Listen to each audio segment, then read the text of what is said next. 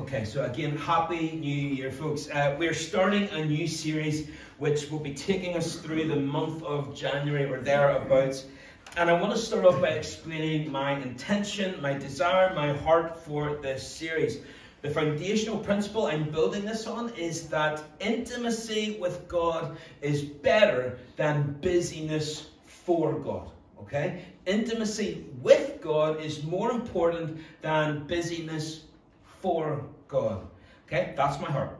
And that's why I'm calling this series Oh for a Closer Walk with God because it's not about doing more this year. My heart for this year as a church is to get more out of our relationship and our walk with God. And so, in the very first morning of a new year, I'm sure many of you have talked about New Year's resolutions or whether you're doing them, whether you're not doing them. But I wonder, spiritually speaking, how many of you are content right now with where you are spiritually? with where the church is spiritually. I'm not. I'm not. There is more. And pastorally speaking, my heart aches because I know there is more of God to experience and savor both individually for me and for you and collectively as a church to savor and to enjoy and to thrill our hearts and so, what I'm calling for at the start of a new year is not resolutions, but revelation. The question we have to start with, though, is Are you with me? Do you want it? See, so many of us, okay, and especially the men, okay, we are action oriented people. We think about our faith in terms of what we do for God. Well, someone will say, Well, are you a good Christian? say, Well, yes, of course I am. I do this, I help the campaigners, I, I, I do some caretaking, I, I, I work this team, I'm part of this, I do this. Of course I'm a good Christian. Look at the things I do, look how busy I am.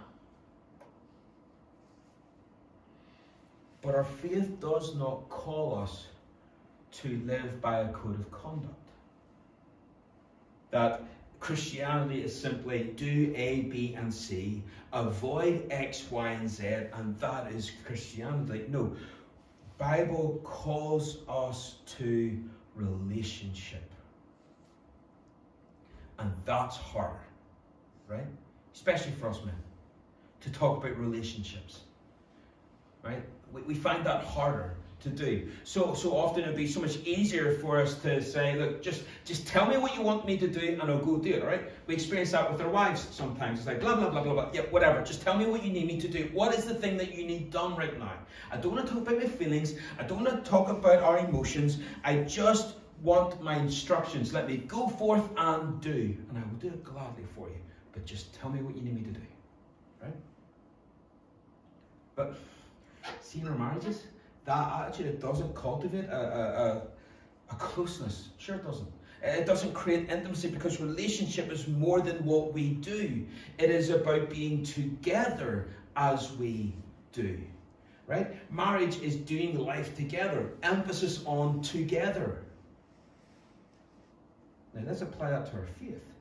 And see how many Christians you see drifting into working for Jesus instead of living with Jesus as part of their life and doing it with them together. They don't have that togetherness. The Bible so often talks about our relationship with God as a marriage, that we, as part of the church, are the bride and He is the bridegroom. Right, if I, as a husband, said, Well, do I love my wife? Well, of course I do. I pay the bills. I make sure that she gets the best quote on her car insurance. I fix the things that maybe need broken if I can, you know, reach them. Ruth could say, well, you know, I show my love by the fact that he is a well fed young man.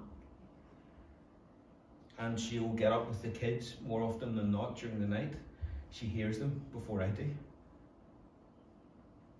And certainly, love motivates us to do those things and to do those things gladly. We, we don't hesitate to do it for them because we, we love them and not reluctantly, usually.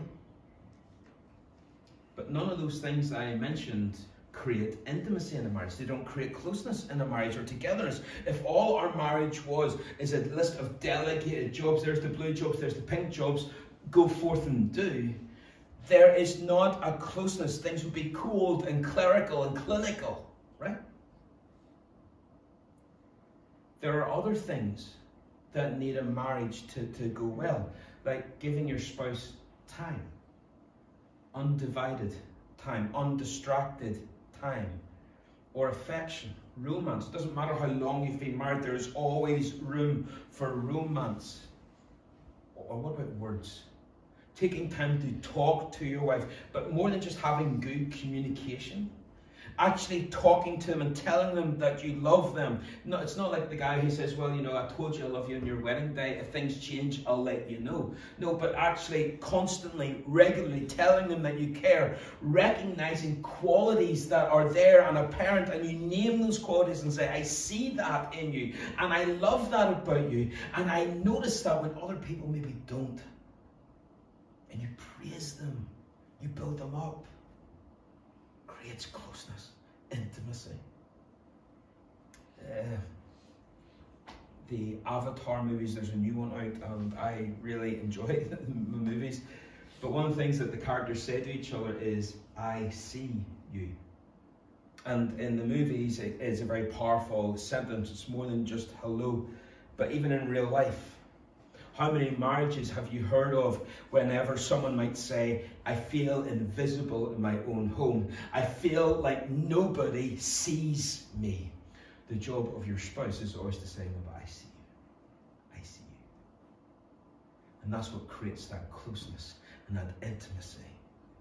So hear me, church whenever I say at the start of this series that there is a difference between doing things out of love and there's then doing things that will create intimacy and closeness with God. Okay? Just because you're busy doesn't mean that we assume that we're close with God. The point in this series is not to call you to be more busy this year in church, but into closeness with God. And so many verses that we can turn to James 4 says, if we draw near to God, He will draw near to us. Philippians 3, Paul says, I count all the things that I've done as loss for the surpassing worth of what? Serving Him? No. Preaching for Him? No. Telling others about Him? No. Of knowing Him.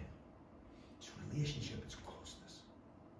Oh, for a closer walk with God. But the invitation is here for you to draw near, to know Him. Christian, do you live with that sense of surpassing worth? I know Him, and I am known by Him. I'm not invisible to Him. Christian, do not settle. Do not settle for simply being busy for Him.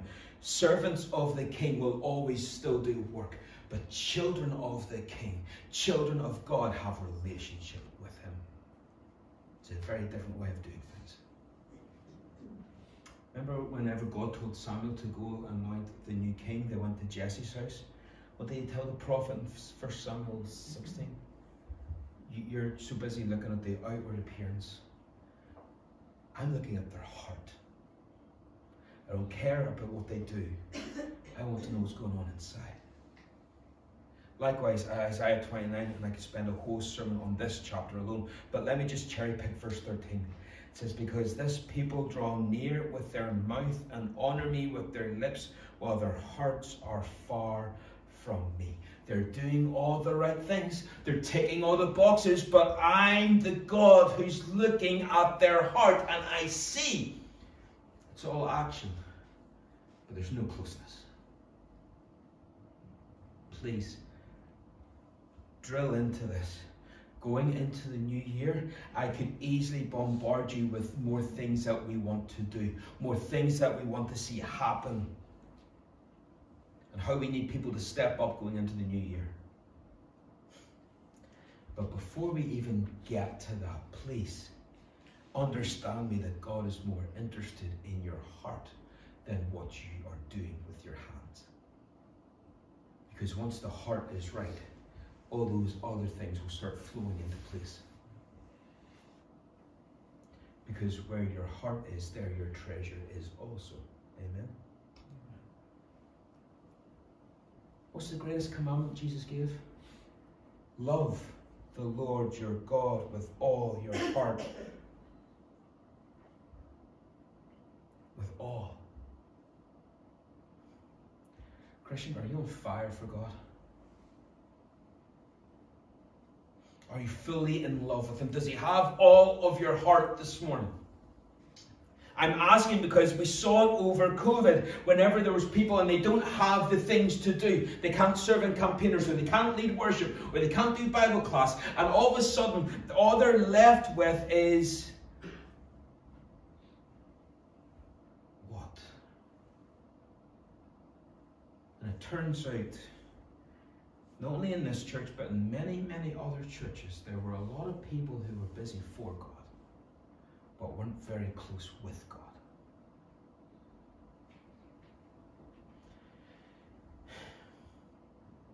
And this is the heart of the new series. To start the new year with a focus on cultivating a closer walk with God. A more passionate walk with God. Not being busier, but being more satisfied in Him. In 1 Timothy 1, Paul is writing about a warning to false teachers. Okay, that, that's the context of the verse. But listen to what verses 5 and 6 says. It says, The purpose of my instruction is that all believers would be filled with love that comes from a pure heart, a clear conscience, and genuine faith. But some people have missed this whole point. They have turned away from these things and spent their time in meaningless discussions. I wonder, Christian, does your faith feel like it is just meaningless talk sometimes. We're saying the right things, we're ticking the right boxes, but ultimately it feels like we're going around and round in circles. And doesn't your heart not cry out, Oh, for a closer walk? I want something real, I want something tangible. And so, over the next few weeks, we will be looking at how we can make that shift in our daily lives. Little things that can ultimately make a big difference keep us close with God.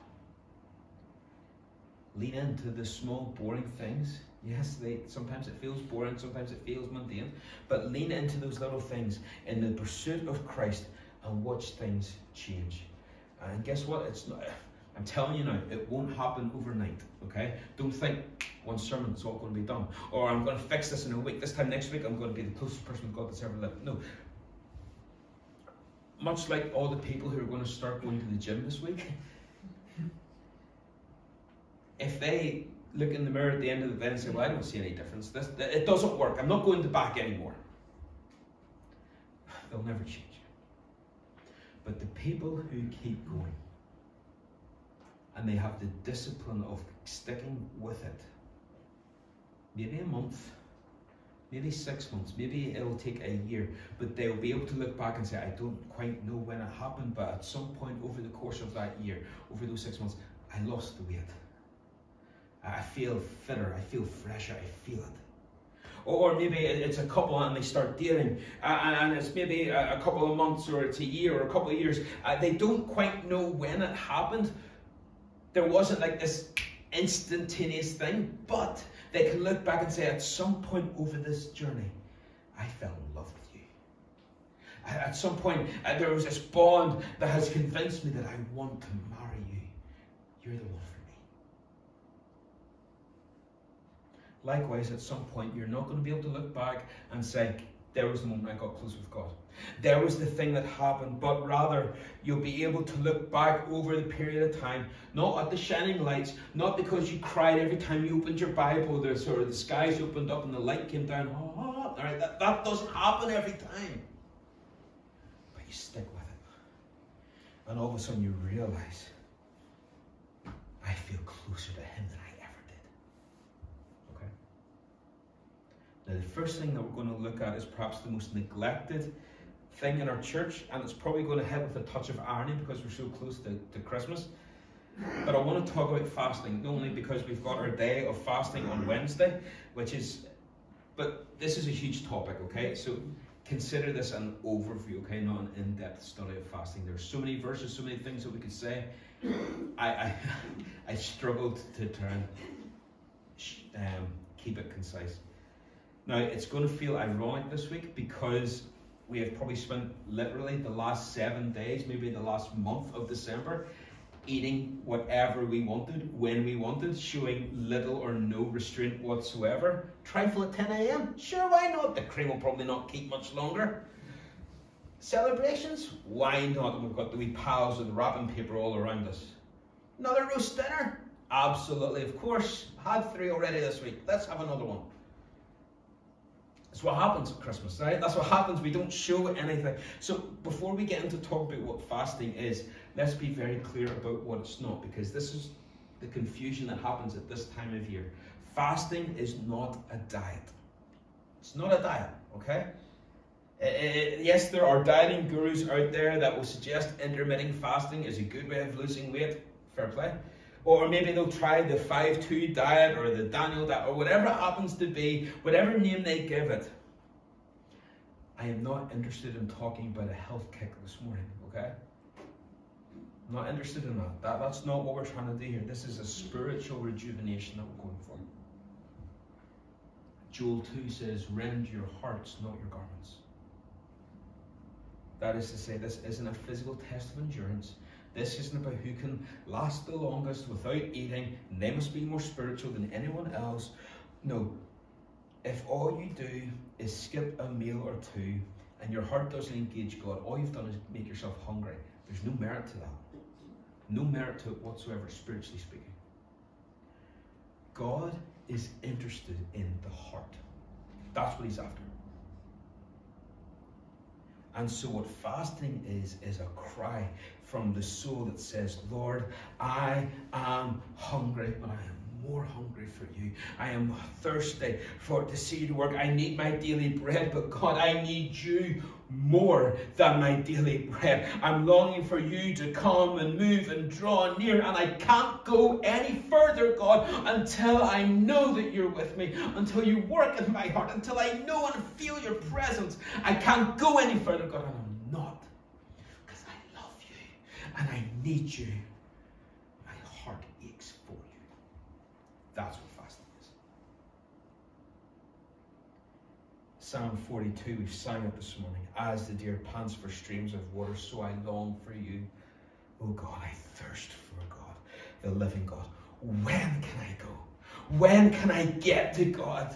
Because I'm hungry. I need to get there. Oh, for a closer walk with God. That's the declaration fasting makes because it's done privately, away from what other people can see. All right, Matthew 6 tells us specifically don't make a big song and dance about it. Try your best to keep it under lock and key. Don't let other people know.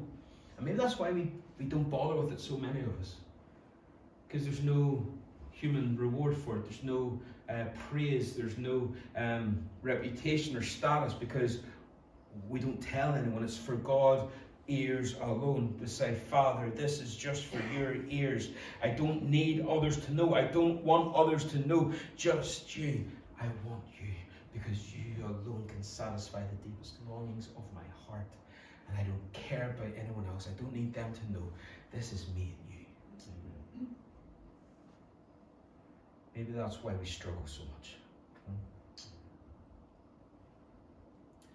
There's an interesting thought from Matthew 9, and this is where we're going to sort of set up camp. The disciples of John came to him, Jesus saying, Why do we and the Pharisees fast, but your disciples do not fast? Jesus said to them, Can the wedding guests mourn as long as the bridegroom is with them? The days will come when the bridegroom is taken away from them, and then they will fast. No one puts a piece of unshrunk cloth in an old garment, for the patch tears away from the garment, and a worse tear is made. Neither is new wine put into old wineskins. If it is, the skins burst, and the wine is spilled, and the skins are destroyed. But new wine is put into fresh wineskins, and so both are preserved.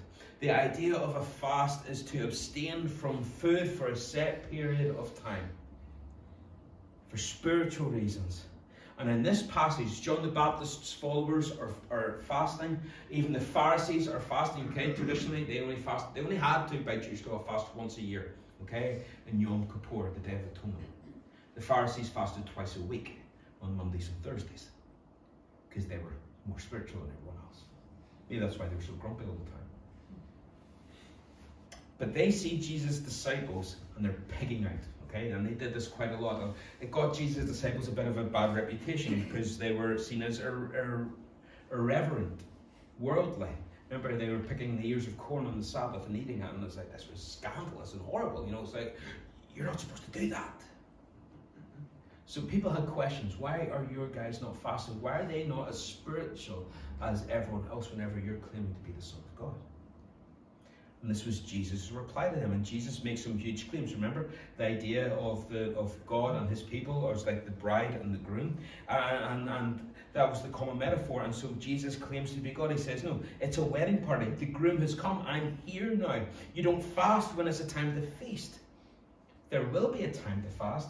Notice he says when you will fast, not maybe when some of you fast or maybe you think about fasting. There's an expectation underlying that you will fast, church, that you will do it at some point. But while we're here, if I be in my bond, okay, let me just say about this. The new wine thing, okay, and the new wineskin thing. Let me clarify. Some people use this as a bully text, okay? Be very wary of this when people start talking about new wine to you Um because um, they use it to force change, you know. And so they say, like, let's get rid of the organ, let's get rid of the, the King James Bible, let's get rid of the old choir. Why? Why? Why should we do it? I got new wine. I got a new thing, and you got old wineskins, and so we've got to get rid of this new thing, and so make way for it. And it's so ridiculous to me to think that Jesus, they think Jesus was talking about getting rid of a choir, you know, a Bible translation uh, when he was talking about this, it's like, no, he really wasn't talking about those things. He wasn't talking about anything as trivial as that, but something way more important. It's, it's about a new wineskin, a new way of doing things. The groom has come, Christ has come. There's a new dynamic because when you're at a wedding, what are you doing? You're celebrating a new relationship. There's a new dynamic now between the bride and the groom, and we celebrate and we feast, and things have changed. That's what Jesus said. Things have changed now. So we feast.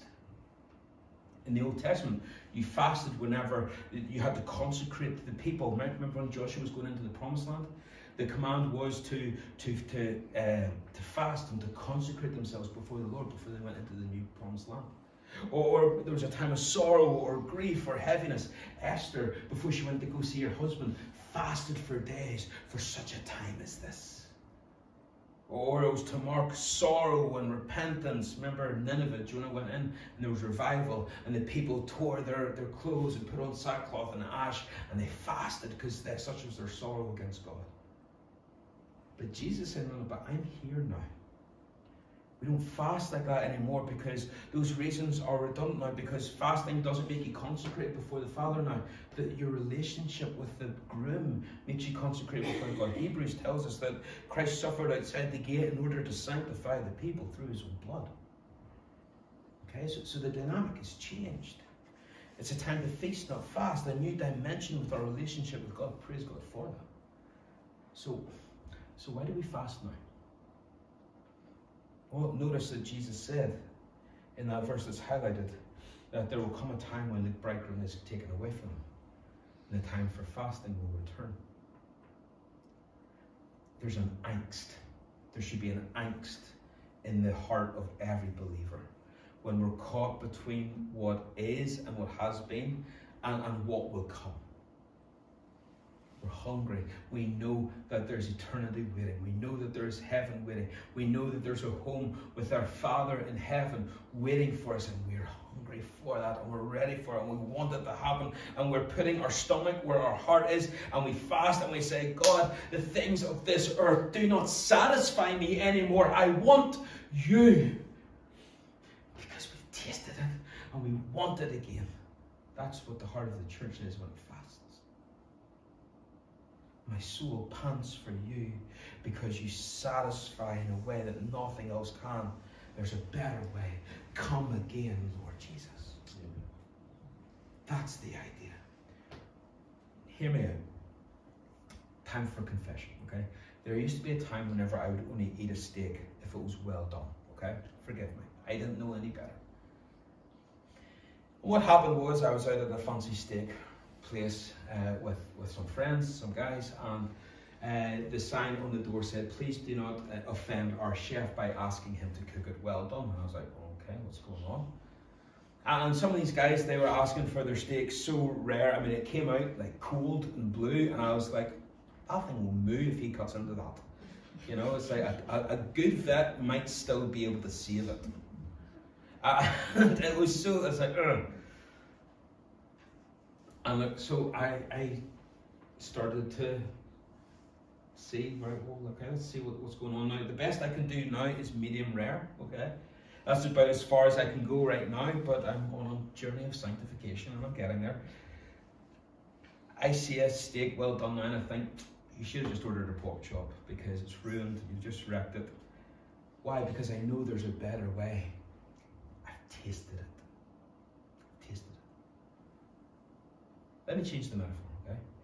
I remember taking our girls to the beach whenever there were Hudson's Age, okay, just barely walking and uh, we brought a paddling pool to the beach, okay, and I filled it up and with the water, and they were happy to play around, and that was so much safer for them, uh, and it was easy. We could sit and enjoy the sun, and they could play away happily enough. Then came the day whenever they looked up and they saw the ocean. And I saw everyone playing in the ocean and the games and the waves, and I was like, right, well, the paddling pool was made redundant said, Dad, we're not playing in this anymore. There's a better way. There's a better way to experience the beach. I want to, I want to plunge the depths of the ocean. Fasting is the equivalent of saying to your Heavenly Father, I know there's an ocean that I there's depths that I haven't experienced yet. So I'm not satisfied staying here in the shallow end of my Christianity. And I, being in the paddling pool is not going to cut it anymore. Being in the shallow end of, of this world isn't going to cut it anymore. I want more, God. Oh, for a closer walk with you. Right? Uh, let me just give you two elements here, okay? Fasting, there's power in it, okay? Um, in Mark 9, we, we have the transfiguration. Jesus comes back down the hill and the, they all rejoin with the bigger group of disciples. And they realize that they've been struggling to cast out a demon possessed child. And they can't seem to do it, and they're really struggling. They've done it before. Remember when Jesus sent out the 72? They came back and were like, Yeah, we are casting out demons and healing the sick. And it's like, Wow, that's amazing, right? They've done it before. And they were struggling, and it's like, Well, why can't we do it? So they turn to Jesus and says, Well, if you can do it, and Jesus is like, if, come on, right? And he casts out the demon, the boy's left is dead, he raises the child, and everyone is like, Wow, that's amazing. We drop into verse 28. When Jesus then entered the house after this had all happened, his disciples asked him privately, Why could we not cast it out? And he said to them, This kind cannot be driven out by anything but prayer and fasting. Now, some translations don't include the word fasting. If you go to your King James, it will tell you fasting because it's included in the text. Now, if you want to head out right at the start of the new year, there are kinds of demons. Okay, now there's a study. Okay, there are different kinds of demons. This one only responds to prayer and fasting. Right? That you never got taught that in Sunday school, right? But fasting, you see, brings you closer to God but it can also unleash a spiritual power that we can't quite grasp. Remember that, that we do not wrestle against flesh and blood, but against the rulers and authorities and against cosmic powers of present darkness, against spiritual forces of evil in the heavenly places. Therefore, we take up the whole armor of God. And a spiritual battle demands spiritual weapons. If you just try to cover up your lust or your anger or your jealousy. People may not see it, but we know that they're still there. But we think that if we can control our tongue, it'll just disappear. But there will be times whenever it just bursts out, okay? You're in the car, you've got your I Love Jesus t shirt on, you're singing your Christian songs, yeah, hallelujah, right? And then all of a sudden somebody cuts in in front of you and you're shouting at them and you're right up their back end, going, gonna, gonna get them. And it's like, and you suddenly realize it's going, oh, that does, this doesn't fit, this doesn't fit. And you back off, and then there's shame, and then there's guilt, and so you back away and say, I can't really pray after what I've done. I'm feeling a wee bit low, I'm feeling a wee bit bad, and, and that happens. But instead of trying to hide our flaws, what if we prayed and fasted over them instead? We pour our lives longing for God to draw near. Remember, if we draw near to Him, He will draw near to us, not pull away from us. There will come a time in your prayer life, okay? Every time you pray, there will come a time when you have a choice. Do you lean in and confess and surrender your sin to God? Or do you choose to kind of skirt around it? And I'm like, you know, it's like, Lord, I'm sorry for the, you know, and God bless the missionaries. Amen. Lean in and talk about your sin. And I know in my life there have been times where I have just broken down in tears and I surrender it to a God who has promised to draw near. and it's not easy. Doesn't get easier. If anything, sometimes it gets harder because it's like, God, I have to do this again about the same sin, about the same thing. Right? Sometimes it gets harder. But there's a choice to be made. And here's the thing I still have those things of jealousy in me. I still have those things of aggression in me. God has not taken them away. I don't think He will take them away. I think it's part of my design. I think it's part of who He made me to be. He wired me this way. But the enemy has corrupted them and is using them against me into sin. But what God wants to do is to say, okay, but I want to take that and I want you to be jealous for me. I want you to be jealous for the church. I want you to be jealous for your family. I want you to be fiercely protective of them and not allow anyone that would threaten them to come in near them. And I want you to use that jealousy for my glory. I want you to use that aggression to stand up for, for people who have been hurt and broken uh, and fight for them and to speak up for them and to be determined to do something with them. I want to fight, not other people that drive past me in the car, but I want to fight the devil. I'm ready for him. I want to fight him and say, No, I'm angry at the things and the hurt that you've caused. It breaks my heart at what you're doing to these people. I want to fight you. I know you're defeated already, but I can't wait to get a few punches on myself. And I want to fight. Just tell him I know you're defeated already. Because there's victory in Jesus. But we use those things See, what God will do in times of prayer and fasting is to use those things for His glory. There is power in fasting, even to cast out demons. But I can only speak from my experiences in this. The things that I thought were problems that needed to be hidden away or taken away from me altogether, God has sanctified and surrendered and used them in a closer walk with Him. He redirects them uses them for His glory and His power and His honor. There's power in fasting because it takes you to the place where you have to make a choice. But not only that, but there is revelation in fasting. It's like an MRI scan.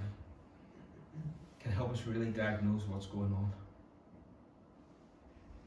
It is a way of getting at the heart of issues when you're alone with God and you know that God knows everything.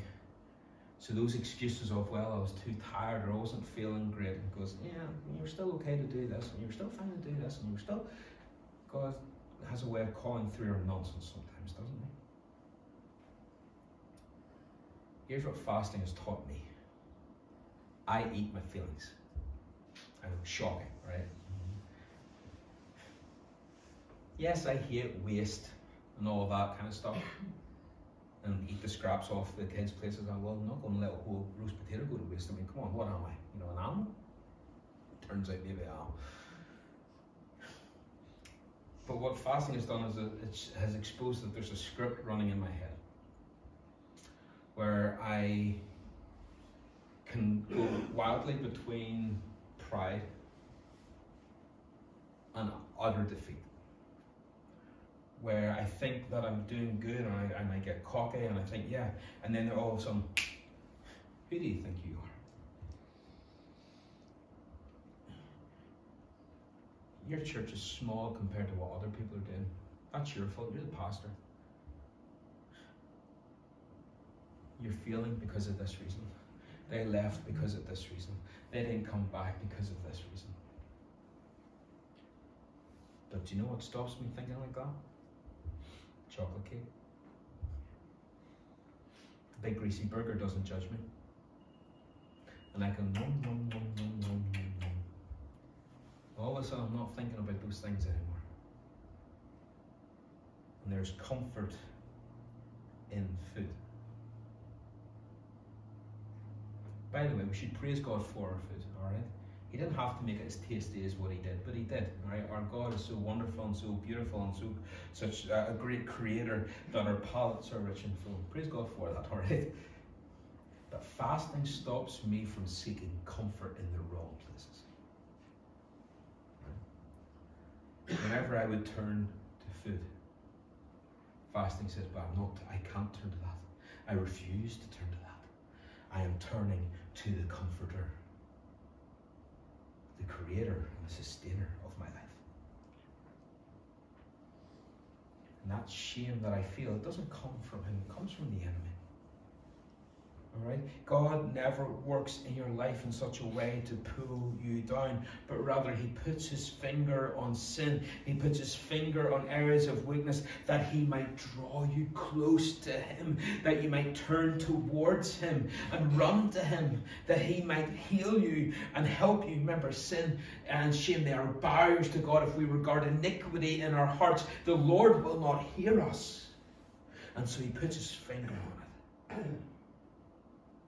And by fasting, it drives away the false comforters to steer me to the true comforter. Why? Because we turn away from the lesser things to declare our dependence on the supreme thing, the ultimate thing, that we may plunge the depths of God. God, you are my God.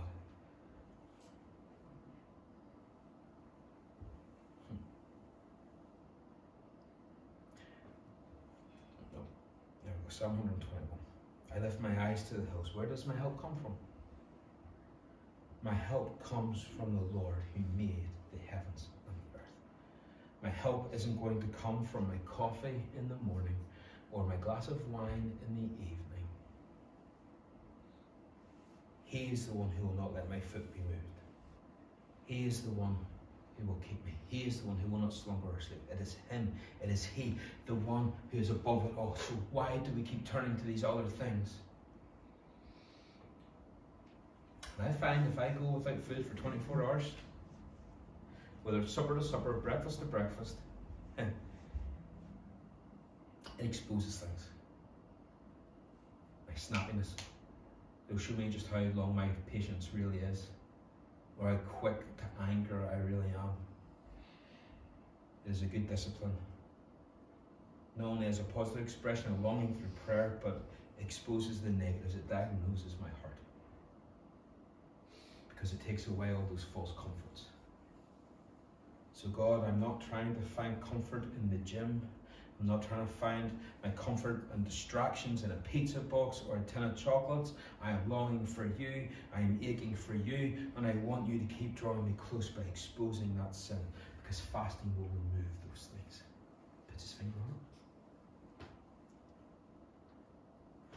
God, you are my God. Earnestly I seek you. My soul thirsts for you. My flesh faints for you. I've tasted it. I've tasted it that angst of what has been and what will eventually come, and we're caught in the middle and we're hungry for more. And look, understand, this is for everyone, okay? This is not for the spiritual elite. This isn't something that is reserved for elders or deacons, okay? And for people who've been saved a long time. It's for anyone. Please write this down. God does not have favorites, but He does have intimates. Are you close with God? Church, as we start 2023, will you press into that deeper relationship with Christ? We have that day of prayer and fasting on Wednesday. This is the call. Make it a priority. Build your week around it. It flies in the face of our culture that says the way to abundance is freedom. Love who you want, marry who you want, identify however you want, do whatever it is that you need to do to make yourself feel happy. Fasting says, no, no. The way through to abundance is through abstinence. I'm going to put boundaries around things. I'm going to put boundaries around food, around sex, around my marriage. I'm going to do that not to cheapen them, but to elevate them. To show that they're truly of worth, but also drive me to you. And on Wednesday, if you can, and I know not everyone medically is able to just stop eating for whatever reason. If that's the case, turn off your phone for the day. Turn off the TV for a day. Turn it off. Eh, do something that will cost. Do something that will hurt. Take away that thing that gives you comfort. To make sure that you're saying, God, I want you more. Can I suggest a two two meals on Wednesday? Like skip breakfast, skip lunch, and then eat with your family at dinner time. Okay, there's no no need for martyrdom here. Okay, there's no need for saying, "Right, I'm not going to eat all week." Yeah, all right. I don't want to have to do a funeral at the end of the week. Okay, but two meals set aside, and instead of your coffee breaks and your lunch breaks, you just step aside and say, "Lord, I'm hungry, but I hunger for you more." I thirst for you more to save my husband, to save my wife, to save my children, to save my neighbours. God, I am thirsty, but I am more thirsty and hungry for that closer walk with you. And listen to me, you can do it. You can do it. It's not supposed to be easy, but you can do it. And through and though it's not in front of other people, it's between you and God. I said, that's why we don't do it the way we should, but Make it a priority for one day. Set the tone for the rest of the year. Not to curry favour with God, alright? This isn't a case of, you know, you rub your Bible and you get three wishes. But rather, this is an invitation to draw near and spend time with the one who we are in relationship with. Let's pray. Father, we Thank you for this invitation that we have to get away from the busyness and to draw near to you. Father, I pray that we would know the reality of this in our lives, not just on Wednesday, but all week, all month, all year, Lord. That our hearts would be caught in this perpetual uh, dichotomy of being satisfied in Christ. Our sins are forgiven but also we are not satisfied yet because we know there is more to come. And we pray, Lord, that we would draw close to you. That our faith is more than simply ticking boxes and being busy. But we would be a people in relationship with you. That we would not forget our first love. And we pray this in your